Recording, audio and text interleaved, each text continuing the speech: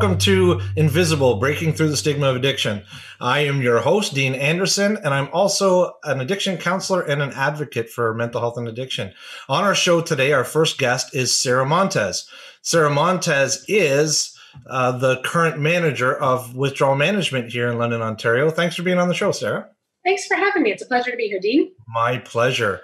Uh, I'm I'm excited to hear what you have to say and the things that you can share with the community. I think that withdrawal management is something that uh, over the years has you know kind of been known as detox, and it's also um, I think it's kind of shrouded, and there's a little something there that we don't know about it, and there's only certain people that gain access to it or are, are perceived to gain access to it. Can you just share a little bit about uh, what withdrawal management is and who you serve? Yeah, absolutely. Uh, so we are a non-medical facility and we have a team of trained addiction counselors and they work with individuals through the acute withdrawal stages as they navigate their addiction. Awesome. So everybody has access, anybody can use the services? Absolutely. Anybody can use the services. We do uh, there's some screening processes we go through, both women and men, and any individuals who uh, are non-binary can utilize our spaces. It's a safe place for everyone. Awesome. So, um, like I said earlier, there seems to be like there's this this there's a stigma, there's an idea around a, a detox. Uh, what do you think are some of the things that prevent people from getting into withdrawal management or finding access to services? Excellent. I think that's a really great question. There's a lot of stigma. I would say in our society in general, there's a lot of ideas of who that person might be, a person who struggles with addictions and needs support with withdrawal. Um, generally, there's this perception that it's only individuals who may have be of a certain socioeconomic status or a certain um, housing environment or lack thereof. And so that couldn't be more wrong. I would say that addictions really can impact and affect anyone. And so, in order to access our services, um, we are listed on on um, the internet. There's obviously phone numbers and different ways for people to access us. Um, I would say that some of the struggle with that is, again, in systems and finding that information. Some individuals don't necessarily know where to go or where to look or who to ask. Mm-hmm. So I'm sitting at home right now, and I'm one of the viewers here, and I'm sitting at home, and I'm in suburbia, and I want to pick up the phone and I want to call. What's that going to look like for me? What's involved in me gaining access to withdrawal management? Absolutely. So you would call our number that'll be provided at the end of this show. And one of my trained staff would answer the phone. They would ask you questions about uh, what's your current situation? What are you looking for? Uh, in COVID, we would be asking you COVID symptoms and screening questions to ensure the safety of all of our current clients and staff. Uh, and then, if there's beds available, they would talk you through what that would look like, uh, where you would go, what time you can come in. Uh, and then they would have a, a, a number of days stay in our observation area and then once it's safe and they're ready, they would move over into our program area. At that point, there would be assessments and uh, a treatment plan initiated. Uh, does the individual want to go to treatment beyond withdrawal management? Um, and various questions are asked and assessments at that point to determine that. So then you will help the people to get into the earlier stages of recovery and step through what that what that looks like, and yeah. then the the assessment process um, and future treatment. What what uh, what are some of the options for future treatment? Absolutely, great question. Um, so some individuals choose to. We do connect them to peer-led 12-step uh, programs, and so some individuals uh, make the decision to go back into community and engage in their recovery that way. We also, within the Center of Hope, where we're housed, have a recovery community center individuals can apply and choose to go there where they navigate their recovery. There's supports, there's programs, there's residential treatment centers um, throughout Ontario, there's private counseling. Um, there's lots of options. Fantastic. So, getting people situated in that direction. So, uh, do you provide any services for the the family members or connecting with people in that way? I would say that uh, it is limited at this point. I think we would provide um, information to, for an example, something like Al-Anon or community uh, community programs, and I would say that that might be probably is a bit of a barrier um, when it comes to families supporting um, their loved ones who are struggling through working through um, addictions and recovery. Mm-hmm. Are there um, so? And you're right. I, I, I see that. I recognize it. I recognize that there's limitations for family members and those things. And I and I and kind of asked you the question. Kind of it was kind of a loaded question because I knew that there was I knew that there wasn't a lot. Um, mostly because I want to draw attention to it. You know, for the general public to realize that. Um, and I thank you for letting me put you under the gun like that. Uh, um, uh, one of the other questions I had was Are there limitations? So, when you said that there was a screening process for people to get in, what are some of the limitations? What would prevent somebody from being able to access withdrawal management? Well, I would say that if they're not in acute withdrawal, I would say they've already moved through that withdrawal process and they may be under the assumption that we are a treatment facility. Um, so they wouldn't require our services. We could potentially work with them, provide referrals and connections to other treatment centers Mm-hmm. Um, it could be um, safety concerns if there if there's um, concern of COVID, uh, if there has been previous behaviors where it puts others at jeopardy, we have to consider that. Yep, makes sense. What about specific substances? Can I go there and withdraw off of uh, uh, my Tim Hortons that I have a minor addiction to?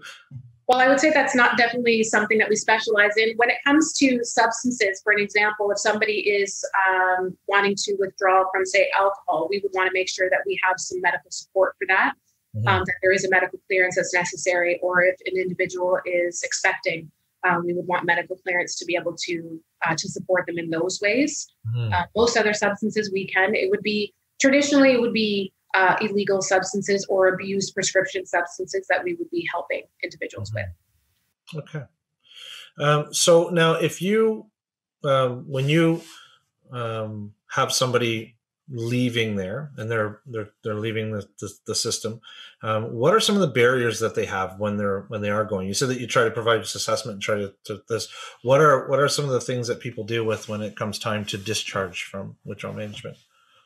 I would say one of the biggest barriers is that there's not enough residential treatment. And so uh, individuals are ready to go. They're ready to make those changes. They've worked through some, some of the stages of change and they're ready to engage in treatment. And unfortunately, there's just not enough space. And so we do provide referrals to community agencies. And, and like I said, the 12 step peer led type programs. Um, that would be a huge barrier for individuals. They're ready to make those steps, but there's not a place to step quite yet. There's lots of wonderful agencies and services out there, mm. but there's lots of need also. And so part of the process of discharging from our services uh, is that is referrals through the assessment, providing referrals to different treatment centers. Um, but that would be the largest challenge. And and second to that would be individuals who are wanting to withdraw from substances who are of no fixed address. And mm. so uh, if they don't have housing and we want to refer them to a place that's safe, obviously we have our shelter systems and different things in place in the city of London, but that does make it a little bit more challenging when someone's trying to live in recovery. Sure, sure. Trying to be in uh, in housing and trying to maintain abstinence if that's what their choice is with other substance use and people around that are um, maybe even dealing or whatever that may be. Um, so, one last question, real quick, Sarah. What do you think it is that we need to do to break down some of the stigma that is around the idea of addiction as a whole, if you'd like, or around the the detox? That's a really great question, uh, and I'm and I'm glad you've asked. I think it is that individuals who are living in recovery need to live out loud. I mm. think I think we need to to destigmatize addiction. Like I said at the beginning, I think there's a certain type of person that our society believes is the addict or is that type of person. And I don't believe that's true. Um, I believe uh, I'm a person in recovery. I know lots of people in recovery. And I think the more that we talk about it out loud, the more that we present our lives in such a way that that shows I can live a healthy life in recovery. I'm I'm not that standard or that norm of that person, uh, but I live in recovery, and I know there are hundreds and thousands of people like that. Mm-hmm. Uh, I think education, it starts at a really young age. Again, we stigmatize addictions and mental health. And so, are we teaching young children um, that, are we destigmatizing these things? Are we normalizing that these are struggles that human beings navigate? Mm-hmm. So, the more, the more that we uh, shelter it and change the idea that you know it's not something that should be talked about the more we reinforce the idea that it's shameful and there's something that we we should or shouldn't be doing in regards to that process. So i'm behind you 100% on that. And so that's why we're here today to talk about it. I just uh, i appreciate you putting that out there. And thank you so much for being on the show today. And um, uh, look forward to working with you in the future in the city of london and the work that you do Absolutely. My pleasure. Thank you for having me here today. It was a wonderful experience. Awesome. Thanks.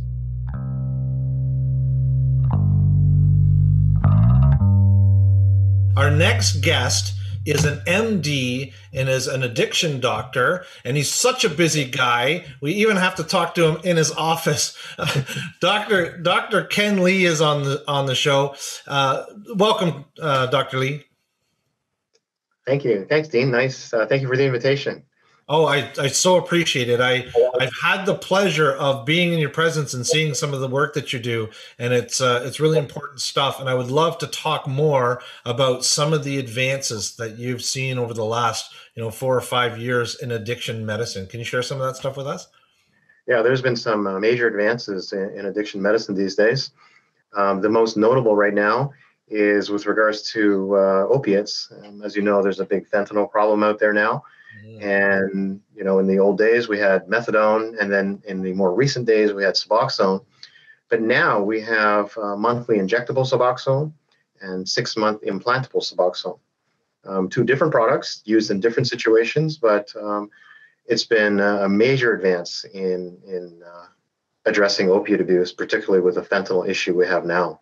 Mm. Um, so we're very gratified to see it. Um, we've been using um, Sublocade, which is the injectable form, for about maybe a year and a half now. We did get uh, early access to it from Health Canada and trialed it here in London at the RAAM Clinic. One of the first places to do uh, to use uh, Sublocade um, was here in London, and we had a, a small study with 12 patients here in London, and then Vancouver uh, had four patients, so a total of 16 patients, and we've had tremendous success with it. So today we have 85 patients uh, being treated with Sublocade. So, what is the the major benefits to going from something like Sublocade opposed to Suboxone or methadone? The biggest issue with uh, methadone and Suboxone has always been the daily dosing. The requirement for daily dosing and, and the regulations um, initially require daily observed dosing at the pharmacy. Um, less so with uh, Suboxone because it is a little bit safer. Um, but now we're able to convert people uh, after starting people on Suboxone for a week to the uh, monthly injection. And so this gets rid of all the issues with regards to uh, uh missing work to go to uh, the pharmacy, pharmacies closed, uh, inconvenient schedules, etc. But the major advance is that there's no issue with forgetting to take your medication daily. Mm. So it's hard to forget to take a medication when it's given to you once a month at the, at the clinic. Absolutely. It sounds like a lot of benefits in that way. And there's also um, some of the parts of going to um, pick up your medicine every day that I'm sure that must remind people of their addiction every day. So there's a part that, you know, instills some of that stigma and some of that um, yeah. shame and being and having to go and get their, their, their daily dosage of, of medicine. So with people being able to go to work, are you seeing a, a different demographic? Like who is, who's the the the demographic that you treat? Who are the the the who are the people that you help? We see people from all walks of life at the RAAM Clinic. So we see people who have jobs, have very good jobs. We have people that have no jobs or are marginally employed. So addictions can strike any demographic. Um, and having uh, the option of a once a, once a month injection um, helps people no matter what the demographic. We describe that as breaking the pill to mouth cycle. So the pill to mouth cycle is a daily reminder that, oh, if I don't take my medication, um, I still have this issue, I still have this problem. And, you know, some days you may not be motivated to take your medication. Well, this takes it out of your hands. It gets rid of that uh, impulsivity to not take your medication. But the real beauty is that patients actually feel better on a steady dose of uh, Suboxone as opposed to the ups and downs of daily dosing. Um, so people, when they wake up in the morning, tell me that they feel normal. And that's very different than in the old days when you were taking methadone and you would feel some withdrawal symptoms in the morning, can't wait to take your methadone. oh my God, I have to go to the pharmacy to get my methadone. Um, if I have a carry, then I have to take my methadone at home. I, I could forget it. Um, but then there was always that up and down in symptoms, withdrawal symptoms, cravings. Whereas with the uh, smooth levels that you achieve with a once a month injection, all that is out of the picture.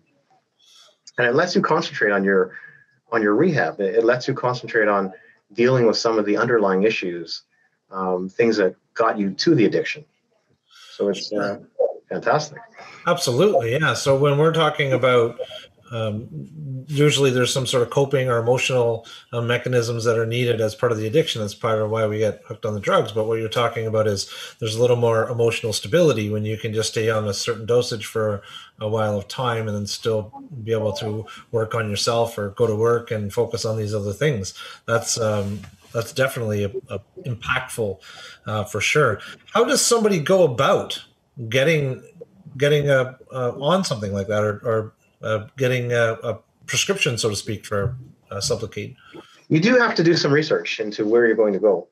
Um, we obviously at the RAAM Clinic um, use uh, some of the newer advances, um, but other clinics may not be uh, on the cutting edge of uh, these new advances. Mm-hmm. Um, so you do have to do your research. And basically, to go on the uh, once a month injection, you have to be uh, stabilized on Suboxone, started on Suboxone in the usual manner that Suboxone is started, and there are nuances in how that's done, but the uh, doctor in the clinic would would work on that with you. Um, in the old days, um, in the old days, I'm talking about just two years ago. you would have to present in a state of withdrawal before starting on Suboxone. Um, newer protocols and techniques do not require that, and uh, we have been working on, on that for a couple years now, and we, we think we have a protocol developed and a technique developed that people don't have to present in withdrawal to start on Suboxone. Methadone's a little bit different. Uh, methadone, um, you don't have to be in withdrawal to start methadone, but at the same time, it takes about three to four weeks before you can get to a stable dose of methadone. Suboxone, and a stable dose can be achieved within probably about uh, two days. Wow. Um, and with the new microdosing techniques, um, that don't require withdrawal, we could probably stabilize a patient in about uh, seven days. And then after you've been on a stable dose of Suboxone, then you can convert to uh, the, the, once a month injection. I should mention a little bit about the uh, six month implant. Um, that's more for people who have been on Suboxone for a number of uh, months and are ready to taper down.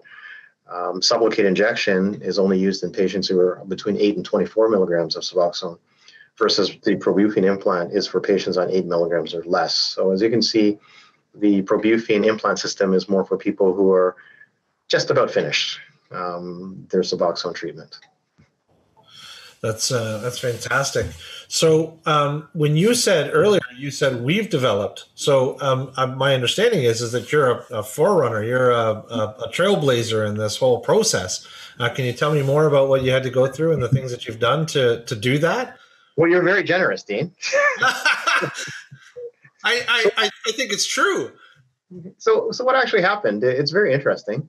Um, I heard of uh, this method called the Bernese method um, for microdosing patients on the Suboxone. It was intriguing, and when I looked at it, um, it was in Bern, Switzerland, where Einstein is from. Uh-huh. Um, there was this doctor uh, in a clinic, in a very small clinic in Bern, Switzerland, that was doing this novel technique. Um, so I read on read up on his uh, technique, and then, well, you know, always need a trip to travel, a reason to travel, right? so I actually took a road trip to Bern, Switzerland. a road trip. and spent some time at his clinic um, to learn about his uh, Bernese method technique. Wow! And I had been trying it on my own before visiting uh, Dr. Hämmig, uh, but I went to Bern, Switzerland, and uh, you know, Switzerland's a fantastic place to visit. I'm going to tell you that. Um, and we saw all the different uh, things they do in this clinic, including heroin replacement, methadone. Um, they have different types of methadone in Switzerland that don't have the side effects that we have. Um, and they have Suboxone, um, Sublocade, and Probuphine. They have all that, right? Um, so I learned uh, more about his technique. I showed him what we were doing here in London, and then he, then he told me, Ken, you've done more of this than I have. Um, so we uh, developed and perfected the technique, and we have it all written up in a protocol, and we distribute it across Canada. And interestingly, um, uh, Australia um, picked up on this, and uh, I've spoken in Australia by video. Unfortunately, I would have preferred to go to Australia, but uh, they've picked up on our, our technique as well. Wow, that's fantastic. So uh, London is uh, is a an open market for this type of treatment and we're we're setting some standards and showing people that things can be different. Can you uh, tell me a little bit more about how this is impacting uh, overdose? Because right now we know that there's an overdose crisis. We've been talking a lot about it seeing a lot of it in the media when it comes to uh, fentanyl and carfentanil and those scary drugs that are out there. Can you share a little bit about that? Yeah it's uh, very scary out there right now. The fentanyl that you're seeing uh, on the street is not only fentanyl. Um, the Toronto Drug Checking Service has detected other substances, including xylazine, which is a veterinary uh, sedative. Um, they've detected etizolam, which is a high potency uh, synthetic uh, benzodiazepine. And a lot of the overdoses from fentanyl may be related to those other substances and not just the fentanyl. Um, we were hearing of cases of fentanyl overdoses, so called fentanyl overdoses, that were not responding to naloxone, the reverser, the reversal uh, nasal spray and it turns out that maybe those overdoses were due to other substances. Um, in our collection, in our data here in London, um, of the 85, now 86 patients on Sublocade here in London, started a new one today, um, there have been zero fentanyl overdoses. And the interesting thing about uh, Sublocade is that it actually blocks out the opiate euphoria that people get from using fentanyl. And by reason. If you can't get a high, you can't get overdose. Yep. So, yep. so the saying is no high, no die. Um, I like it. so that's uh, that's our data, and uh, that data will be coming out at an international conference in June. Um, as opposed to patients on uh, oral methadone, and you know, pe- patients overdose on um, fentanyl when on, while on methadone, and and certainly on Suboxone you can overdose as well. Although 16 milligrams of Suboxone should block out fentanyl, it doesn't block it out if you're not taking it. True, true, true, true. So it's a lifesaver. It's a lifesaver right, outright.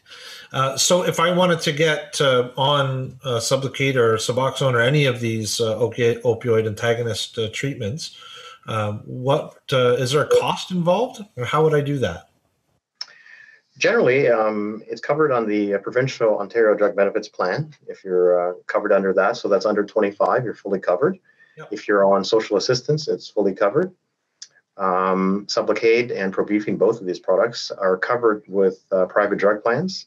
So Green Shield, Sun Life, uh, Manulife, etc. Um, they're all covered. Um, it's covered under uh, the uh, NIHB, which is the health plan for uh, um, Aboriginal populations.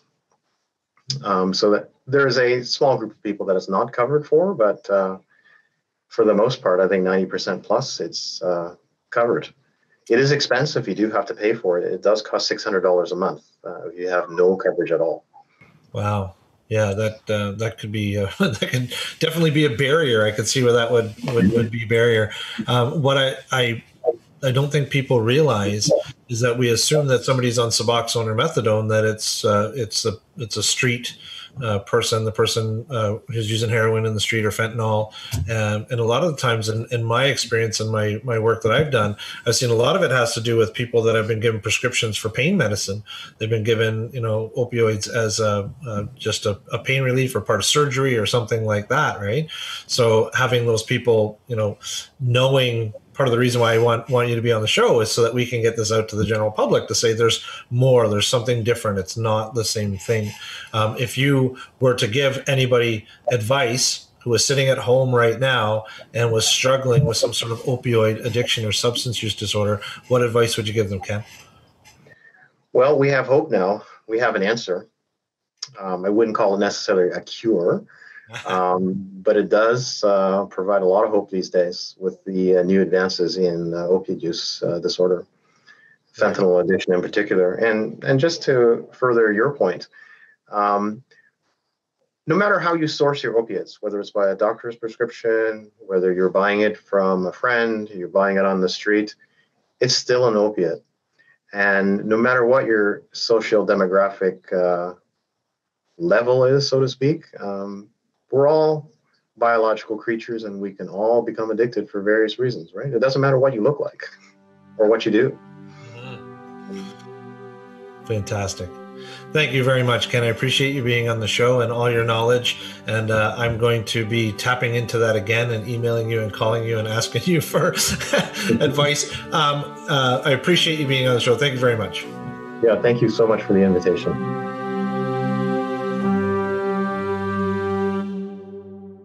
So thankful to have Dr. Ken Lee and Sarah Montes on the show today. They both have distinct avenues of care in the services that they provide. Withdrawal management is abstinence based. People go there and they look for help withdrawing from, or some people call cold turkey, from their drug of choice and then work their way into recovery. Whereas with Dr. Ken Lee's approach, they use medicines and addiction medicine to help people overcome the pain and the discomfort that goes along with withdrawal or the symptoms and byproducts of having substance use and addiction issues. One is harm reduction and one is abstinence. Some people believe that these two things shouldn't live in the same world, and they can't be any further from the truth. The reality is is we meet people where they're at and help them with the things that they need to find the care and to find the recovery that they want.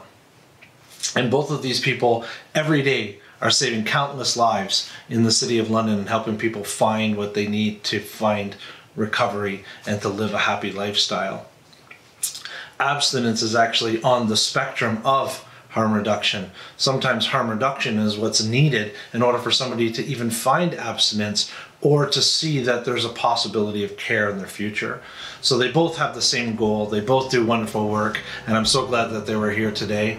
So uh, on the website, deananderson.ca slash invisible, you'll be able to find links to both of these people's wonderful services and the things that they do in the city.